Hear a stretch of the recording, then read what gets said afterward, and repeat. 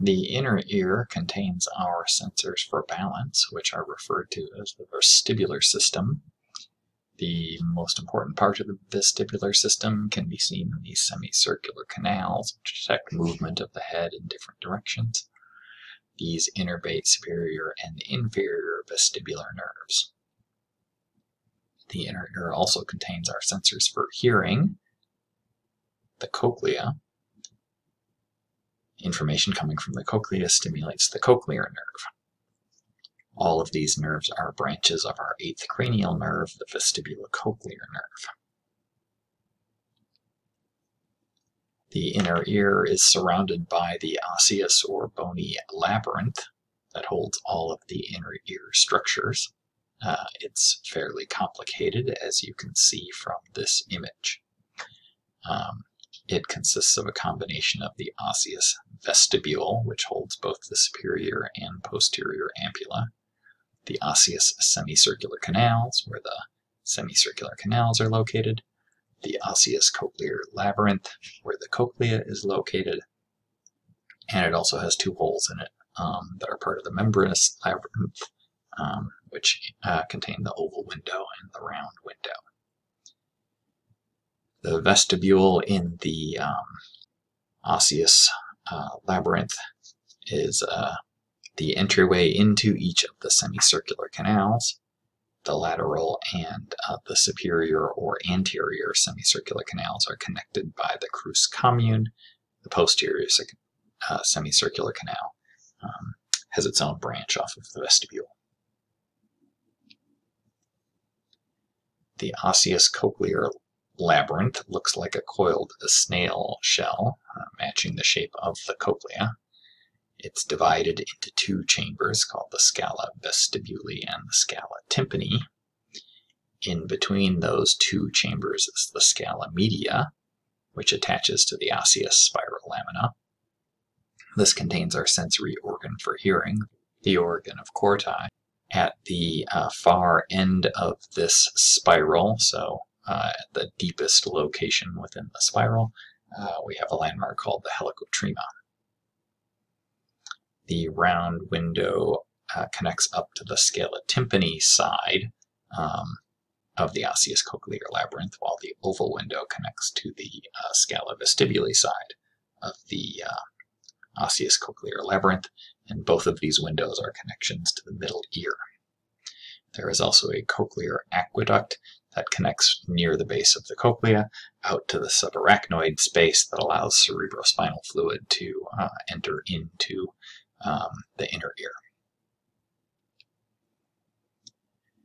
Inside of the osseous labyrinth is a membranous labyrinth that pretty much follows the same shape. Um, so this is where there's actual uh, organs that process information. Uh, these membranous areas are filled with a fluid called endolymph. We have the vestibular organ here, uh, which consists of three different ampulla each one holding a crista ampullaris, which are receptors for a movement that happens uh, of the head. There's also an utricle and a saccule within the vestibule that contain maculae. These also sense movement, so between these uh, five different movement sensing locations, we can detect a lot of um, how the body is moving on the basis of uh, the movement of the head.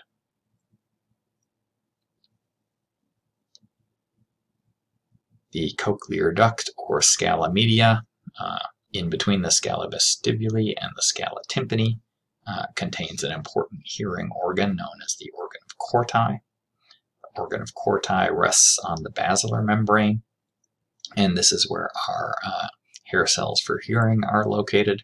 There are three different rows of outer hair cells, uh, giving us about 12,000 hair cells total, and a single row of inner hair cells uh, of about 3,500 cells in total. These hair cells uh, are part of how hearing happens that we'll talk about in the physiology part. Uh, and this is a complicated process that involves both sensory and motor innervation, despite the fact that this is a primarily a sensory organ. Within the organ of Corti, there is a space known as the tunnel of Corti that separates the inner and outer cells from each other.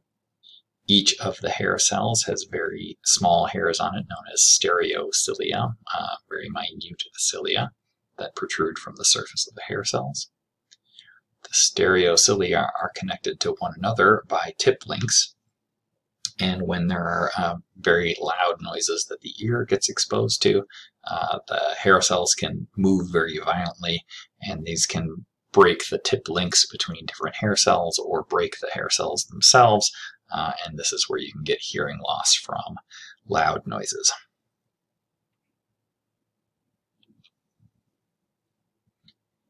Innervation within the organ of Corti has both afferent incoming information as well as efferent outgoing information. Uh, there's a many to one mapping that works in different ways for the inner and outer hair cells. The inner hair cells get innervated by many nerve fibers each, while many outer hair cells are innervated by a single nerve fiber. The fact that we have afferent innervation here uh, incoming information um, to the hair cells to change their behavior reflects the fact that our, um, our hearing is actively tuned uh, in a way similar to how vision works. So it's not just a purely passive receptive process, but on the basis of the information coming in, uh, the way the uh, hair cells respond to information gets altered.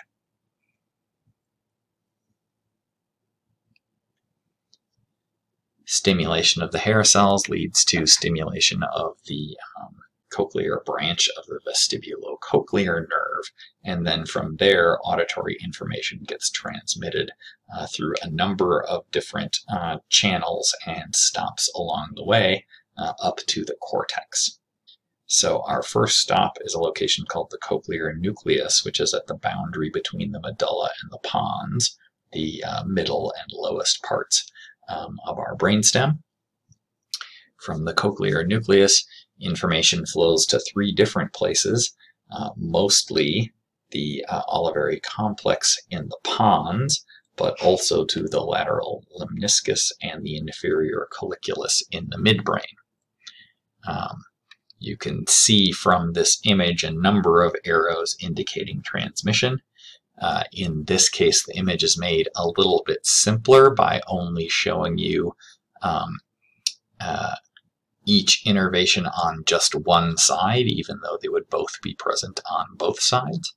Um, so there's a, a, number of direct connections into the olivary complex, uh, and then also a number of um, uh, connections from the olivary complex up to the uh, inferior colliculus and to the lateral lemniscus, but also some direct connections from the cochlear nucleus up to those midbrain locations.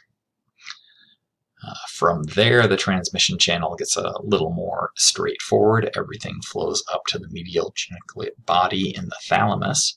Uh, and remember that the thalamus is an important uh, sensory collocating structure that lies just on top of the brain stem as part of our uh, subcortical structures. From the medial geniculate body in the thalamus, things go up into the temporal lobe, first landing at Heschl's gyrus, and then from there processing extends out to the belt and parabelt around Heschl's gyrus, and then on to the rest of the cortex, depending on exactly what you're processing.